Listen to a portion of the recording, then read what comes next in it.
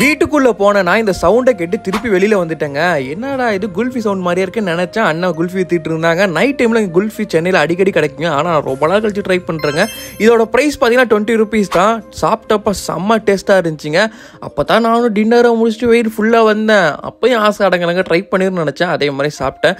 செம்ம டேஸ்ட்டுங்க இதே மாதிரி நீங்களும் நைட் டைமில் குல்ஃபி வாங்கி சாப்பிட்றீங்களா கமெண்ட்ஸில் சொல்லுங்கள் வீடியோ பிடிச்சா லைக் ஷேர் சப்ஸ்கிரைப் நீங்கள் வெஜிடேரியனாக இருந்து சாண்ட்விச் சூப்பராக சாப்பிட்ணுன்னா வெஸ்ட் மாம்பலத்தில் உள்ள சாண்ட்விச் டூ பாயிண்ட் ஓக்கு போங்க. இங்கே மெனுவில் உள்ள எல்லா ஐட்டமே வெஜிடேரியனாக தான் இருக்கும். சாண்ட்விச் பர்கர் பீஸா அது மட்டும் ஹாட் டாக் எல்லாமே இருக்கும். நம்ம வந்து ஒரு காம்போ டூ தாங்க ஆர்டர் பண்ணியிருந்தோம். இதில் வந்து ஒரு ப்ளூ மரக்கோ மொஜிட்டோ அப்புறம் வெஜ் நக்கட்ஸ் அப்புறம் சாண்ட்விச் வந்து கார்ன் வித் மயோ அந்த இதில் வரும். சாண்ட்விச் எனக்கு அந்த அளவுக்கு டேஸ்ட்டாக தெரியலங்க. ஓகேவா இருந்துச்சு. ஏன்னா நமக்கு வெஜ் அவ்வளோவா ஆகாது. பட் ஓகேங்க நல்லா இருந்துச்சு. அப்புறமா பார்த்தீங்கன்னா அந்த நக்கட்ஸ் வெஜ் நக்கட்ஸ் ஒரு டிப்பு கொடுத்துருந்தாங்க. அதோட சேர்த்து சாப்பிட்றப்ப இதில் டேஸ்ட்டும் நல்லா இருந்துச்சுங்க.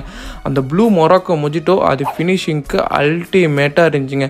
நீங்கள் வெஜிடேரியனாக மட்டும்தான் ஒன்லி இந்த sandwich two point O prefer பண்ணுங்கள் சாப்பிட்டு பாருங்கள் செம்ம டேஸ்ட்டாக இருங்க. ஒன் டைம் விசிட் பண்ணி பாருங்கள் வீடியோ பிடிச்சா லைக்கு ஷேர் சப்ஸ்கிரைப் பண்ணிக்கோங்க.